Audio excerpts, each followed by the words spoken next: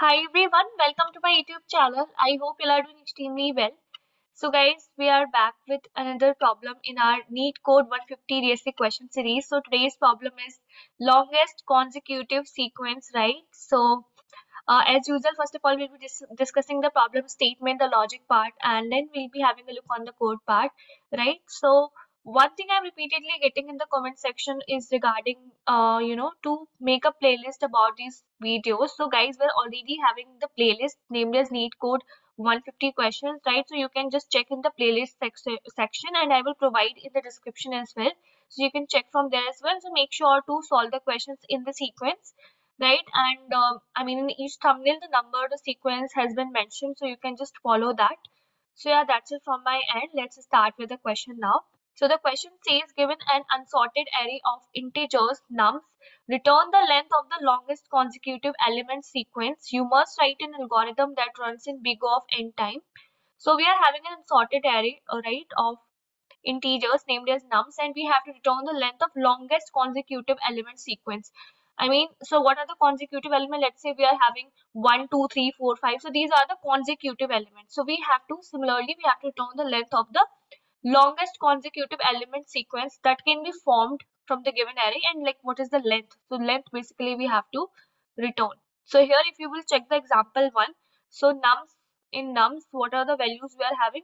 100 4 200 1 3 2 so here if you will check so 1 2 3 4 is forming uh, a sequence of consecutive elements right? So they are forming a sequence of consecutive elements. So the longest consecutive sequence elements here in this case is 1 2 3 4 and its length is 4 right? So you can see here in the output that's what we are getting. And in the next example uh, we are having what? 0 3 7 2 5 8 4 6 0 1 right? So for this one if i'm asking you so in the sequence in the sequence uh in the consecutive sequence what all the elements we can have? 0 1 2 3 4 5 6 7 8 right? So like that so what would be the length? The length would be 9 and that's what being returned. Here you can see the uh, constraint as well right? Constraint has been provided. So uh, what is the approach to solve this particular problem? I mean the most basic one approach let's let's think about it.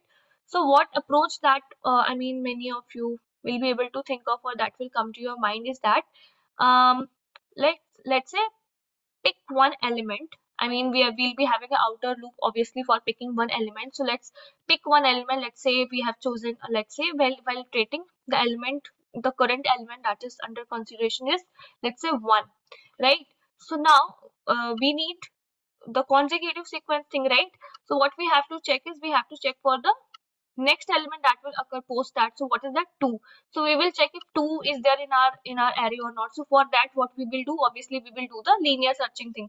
So linearly we will check if 2 is present in our array or not. So 2 is present. So now we will check for 3 3 is present or not. So 3 is also present. Then we will check for 4 4 is also present.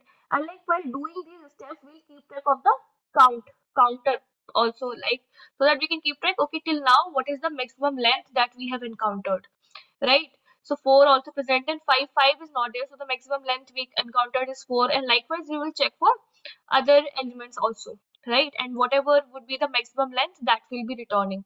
So in that process, um, in that process like we are uh, obviously iterating through the array and then we are just checking if the next of it exists in, in the array or not or, or likewise we are just uh, calculating the length of the longest consecutive um, element sequence, right? So what would be the time complexity of this approach that just now we discussed? Big O of n square. Big O of n square, right? So now the question comes, can we do something better than that? Is there any other approach? Um, so yes, can sorting help us? Right? Sorting can help us, right? Because the elements will be sorted in a specific, in a, in a proper order and this can help us in finding out the consecutive sequence. So what we will do, as said, let's say so we are having the array. Here i have included some more ones just to explain you certain scenario. So post sorting let's say this is the array that we have got right? Post sorting this is the array we have got right? So now uh so now that is for sure that is for sure like see if there is no element in our in our array so obviously if the num's length is 0 so maybe we have to return 0 itself. So if just one element is there or like that is for sure that at least the mech at least the length would be 1 right? So what we will do okay so uh, we will have a variable that will be responsible for keeping track of the or to store the maximum length. So like 1 would be there so that is for sure. And uh, what we can do so here if you will see we are having 1 1 1 2 3 4 1 0 1 so as of now the element under consideration is 1 let's let's let's call it as the last i mean this the just seen element or you can you can say the last element that we have seen. So that is uh, nums of element at nums of 0 as of now right? So yeah. Now array has been sorted everything been done already right? So we will start execution. So this element we have already stored in our last uh, seen variable. So we will start probably i'll do from i equal to 1 so we will check how you can say that the current element is in the consecution is the consecutive element of the previous one. If the current element if from the current element we are subtracting one and we are getting the uh, last seen element. So we can we can conclude. So right? Like you you are you are you must be getting my point. Right? So that's that's that's how it is. So we will check we will check that if nums of i nums of i here here just parallelly we can have a look on the code part itself also. So nums of i minus nums of i is what? 1 right? 1 minus 1 is 0 equal equal to that of last last is what? last is 1 like here let me write last is 1 no right? So this condition is not true. Okay okay. So uh, see. So yeah. Now next thing is next this this part i will explain you. As of now if i'll explain so you won't be able to get it. So the thing is like if see if the elements are similar like in this case they are they are equal they are similar. So we don't have to do anything. Like we don't have to do anything. This is what it actually means. Because this condition we have written for the case when the consecutive elements are there then only this um, uh, condition would be true. Right? So again we will proceed further. So for this also we will check and like none of these conditions will be true right? Then comes this element 2 so in case of 2 in case of 2 um, this condition will be true because uh, nums of i is 2 2 minus 1 we will get 1 and that is equal equal to that of 1 so c value c is responsible for like counting purpose and max basically so the maximum count maximum length that we have got. So c value is initially 1 because we know at least one element would be there right at least one length would be there. Its c value would be updated to 2 because 1 2 we have seen right? So uh, it would be updated to 2 and the last seen element would be now updated because now last seen element is now been updated to 2 because 2 is the element that we have lastly seen now. 2 then we will see 3 so 3 minus 1 equal equal to condition is uh, true right? So count would be updated to 3 and the last seen element would be updated to 3 now here again 4 4 minus 1 equal equal to 3 that condition is also true right? So now what would happen? That last seen element is 4 and count plus plus will happen so that would be also 4 right? So yeah. Now comes the next element that is 101 now in that scenario so see 101 101 obviously 101 minus 1 is not is not going to be equal to last right? Because this is a new sequence itself getting started. There is no consecution involved. So and this condition is also not going to be true. See when the elements are same for example here here 1 1 was there right? So this condition would be uh, so like for for the similar case we don't need anything like we, we don't need any operation or something like it. But when the sequence itself is getting changed see so from here this new sequence is uh, there 101 102 103 104 105 right? So in that scenario what we have to do? Because the consecution is not there and new element itself we are we are just having a look on. So what we have to do?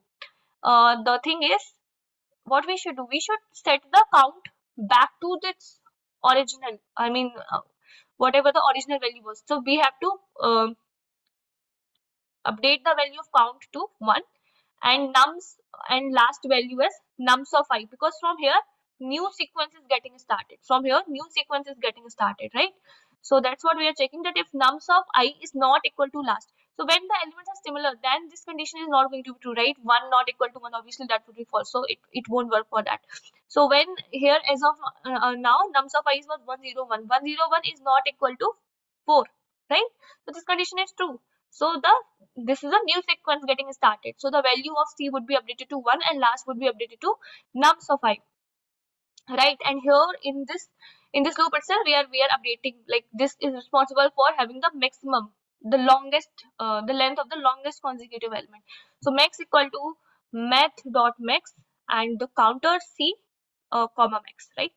So yep, that is that is how it is. And like likewise, it will continue further. Like for 102 102 minus 1 uh, this condition will be true to count value like it has been updated to 1 right so it would be updated to 2 and likewise it will happen so yeah i hope you got this you got this logic right? How we are doing and the code part as well because in parallel we discussed both the things that how we are using the sorting thing here. So now if, if we will talk about the time complexity of this particular approach so here we are see we are not using any extra auxiliary space so auxiliary space would be big of 1 but yeah uh, we are here here we are sorting the array right? So for the so what was the what is the time complexity of sorting so that is big of n log n right? So that would be the time complexity for this particular approach. But here they are asking that you have to write an algorithm that runs in big of n. So if we can do if we can do something better than that. So we will we will now discuss about the optimized approach to solve this particular problem. Right? So yeah that's what that's what it is. That's what it is. Okay so now we will take the help of set to solve our problem. Or you can use hashmap as well. It's it's up to you right? As of now here i've mentioned set right? So first what we will do in our set in our set we will keep all the elements that we have seen. So uh 100 4 200 1 3 2 all the elements we will keep in the set that we have seen right? We will just add them in the set. Now max value uh, again the same thing right? The, this variable would be responsible for this would be responsible to return the length of the longest consecutive elements. And it uh, this value we are going to initialize with 1 so int max equal to 1 right? So that is how it is. Now what we have to do is that what we will do we are we are we are having our set ready right? So we will start going through the elements that are there in the there in the set. So what we will do so we are having 100 4 200 1 3 2 so see when here here what we basically we will try to find out we will try to find out the starting point of a sequence. So whenever a sequence being started so so let's say let's say we have seen 4 so if 3 is there if 3 is there so we cannot say that 4 is the starting point right? Now we we have seen 3 so if 2 is there sorry. If 2 is there if 2 is there we cannot see we cannot say that 2 is the starting point. If 1 is there so we cannot say 2 is the starting point right? Now post that like if you further reduce the reduce the value by 1 so 0 0 is not there. So we we will say that yes 1 is the starting point of a sequence for sure right? For sure one is the starting point of a sequence. Similarly for here if you will check so 99 is not there so we can say uh, 100 is the starting point of a sequence. Likewise for 200 right? So that's what we are we are just checking here. That if not our set contains x minus 1 means that particular x that particular element is a starting point of the sequence. So once we have got the starting point once you got the starting point let's say you got 1 right? You got one. So one is the starting point. So next thing is again just to we got the starting point right? So now we can easily just check okay, what all the elements we are having in addition to it. Means one is there so we have to check just uh plus one plus one plus one plus one like what all the elements are there and we have to keep track of, of the length right? So that's what we are doing here is that um if this condition became true means we got the element which is a starting point of a particular sequence. So int y equal to 1 and this LE is having a the current element. So what is the current element? 1, 1, right? So now in our set, we are checking if LE plus 1 is there. So LE element is what? Element is 1. So 1 plus 1, 2 is there. right uh, our set contains 2 so we will uh, we, we will increment y y plus plus plus y plus plus and element plus plus right? So y value would be what? Y value would be 2 then we will check uh, an element uh, value was uh, been updated to right? Then we will check for 3 so 3 is also there. So element um, 3 is also there. So y value would be updated to 3 and similarly we will check for uh, again plus 1 we will do. So 4 4 is also there. So y value would be updated to 4 then we will check for 5 so 5 is not there in the set. So we will come out of this while loop. And this is the um, length right? This the length of the consecutive sequence that we have seen. So we will keep track of it. So here in the max we will store whatever is the maximum value if the value in the max or the value of the y. So just store this in the max right? So right? So likewise likewise we have to do like we, we will continue in our set and we will keep on checking for the other um, starting points that we will get. And at the end the max will be storing the the length of the longest consecutive element sequence and that would be returned right? So so yeah that is the optimized approach to solve this particular problem. If talking about the time complexity of this one so here. Uh, first of all we are using this extra space for sure right? So that is being involved. So big of n is the space complexity. And now here if you will uh, talk about this right? So overall overall don't this won't be taken as a big of n. Like don't think this would be taken as a big of n. Like if you will check for all the iterations, right? So approx, approx, it would be a big of 2n itself, right? So overall, if, if we are talking about the time complexity, uh, is it, it is big of n for this particular approach.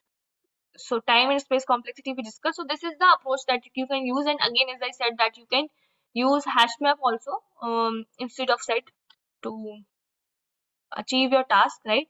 So yeah, uh, I hope that you were able to understand it. And if there is any feedback regarding the explanation or something, feel free to let me know in the comment section so that even I just want to improve. I mean, if there is anything, um, just let me know in the comment section. But yeah, let let not mention about the language that let's code in this specific language or that specific language. Because my concern is that like if you are if you are once clear with the logic right? So just focus on the logic. Once clear with the logic then you can code in any programming language. So focus on understanding the logic part and then whichever language you are comfortable with you can code. So yeah that's it from my side. Thank you so much for watching everyone. Bye bye